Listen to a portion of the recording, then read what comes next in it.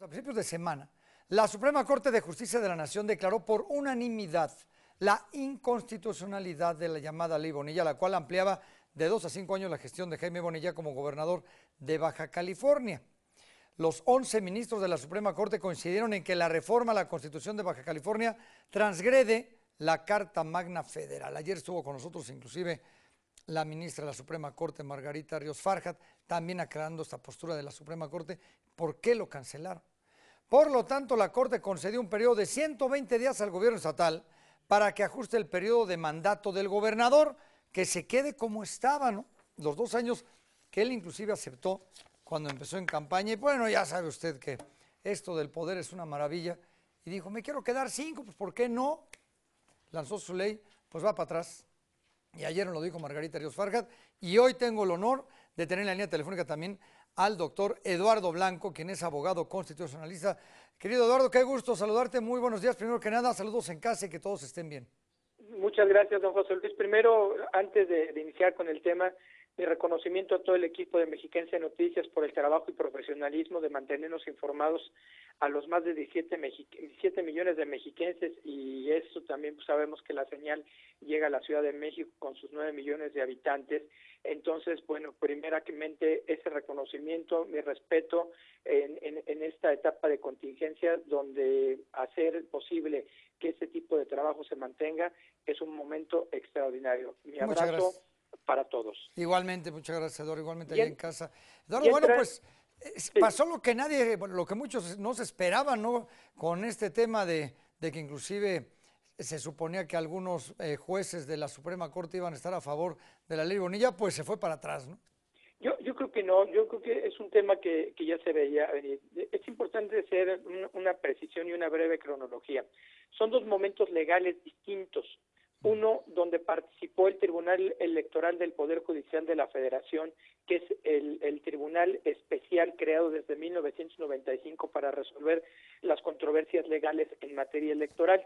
Y yo quiero referirme primeramente a esa etapa y, y, la, y, la, segunda etapa, que es la que hizo la ministra ayer precisamente, que es de la acción de inconstitucionalidad, que es donde ellos sí tienen atribuciones. Mm. Hay que aclarar que el Tribunal Electoral del Poder Judicial de la Federación, desde el mes, desde mayo, para ser exactamente el 7 de mayo, emitió una primera resolución donde ordenaba eh, eh, corregirle al Tribunal Electoral Estatal la adenda donde habían modificado precisamente la convocatoria, que no sería de cinco años desde don José Luis Auditorio, sino era de seis años inicialmente. Mm. El Tribunal Electoral del Poder Judicial de la Federación, el 29 de mayo en sesión pública, se, de, que se eh, eh, emitió sentencia donde aclaraba que la convocatoria para la que habían sido eh, este, llamados a contender era de dos años. Recordemos que la elección fue el día 2 de junio este, y donde no solamente se eligieron a, al gobernador, se eligieron 17 diputados locales, eh, de mayoría, 8 diputados eh, de representación proporcional y 5 ayuntamientos. Posteriormente, como sabemos, el 2 de junio fue electo el señor Jaime Bonilla, pero a la par, el 8 de julio, la legislatura local convocó a, una, a un proceso extraordinario para modificar precisamente lo que posteriormente la Suprema Corte eh, el día 11 de mayo va a declarar inconstitucional.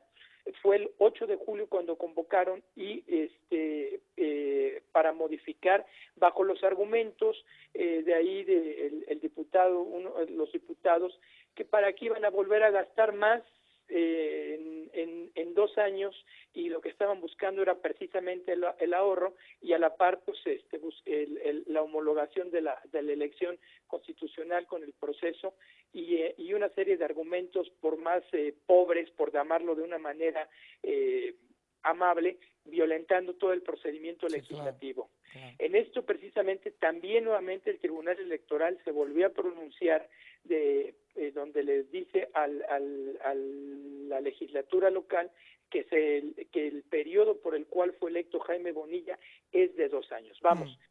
En dos momentos el Poder Judicial Federal, a través del Tribunal Electoral del Poder Judicial de la Federación, fue claro.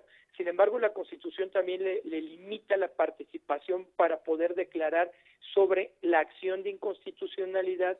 ¿Por qué? Porque esto le correspondía propiamente a las leyes al ser, al ser una ley a la, a, la, a la, modificación que éste hizo y que el decreto que ya obviamente fue publicado posteriormente por el, el, gobernador saliente Francisco Vega, y entonces una vez que ya estaba publicado, los ministros de la Suprema Corte tuvieron la posibilidad, dentro de sus atribuciones que les da el artículo 105 constitucional y su ley reglamentaria, entrarle al fondo para revisar precisamente lo que ya había sentado las bases del Tribunal Electoral del Poder Judicial de la Federación. ¿Qué pasa con los diputados locales que estaban a favor de esta ley Bonilla porque la oposición quisiera también que de alguna manera se les reprimiera, se analizaran? ¿Qué sucede con ellos, doctor? No pasa nada, ¿no? Mira, primero, aquí participaron dos legislaturas. Mm. La primera, la saliente, que es la que convoca el periodo extraordinario el 8 de julio, este, que es la que hace la modificación, y después la actual, debemos de recordar que el 22 de agosto se aventaron la puntada de convocar a una consulta ciudadana, buscando legitimar precisamente lo que su, la legislatura que le antecedió había realizado. Este, como bien lo dijo ayer la ministra, pues les enmendaron la plana y además fueron muy contundentes y aquí con eso quiero quiero responder a la a la, a la, a la pregunta a, la pregunta que me, que me haces.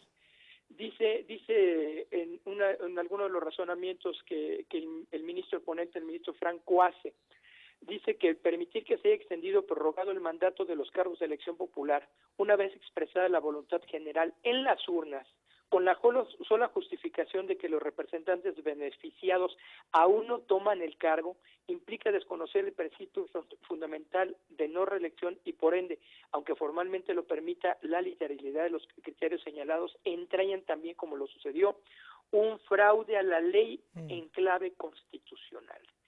Yo creo que si le aprietan y algún ciudadano honesto, valiente, como debe de ver muchos en Baja California, lleva a la Cámara de Diputados a la Comisión de Justicia la solicitud de juicio político para los actuales y los anteriores, pues tienen mucha posibilidad de que se les aplique una sanción. Pues sí. Muy bien, pues, querido Eduardo, es siempre es un gusto que nos acompañes aquí en Mi Noticias. Un fuerte abrazo allá en casa, a cuidarse que ya, ya vamos casi de salida, ahí vamos poco a poquito. Mi, reitero mi abrazo, un abrazo muy respetuoso al, público y sobre todo al equipo ahí en, en, el estudio, como siempre, con todo ese profesionalismo. Que Dios les llene de bendiciones. Igualmente, igualmente, querido doctor Eduardo Blanco, un fuerte abrazo.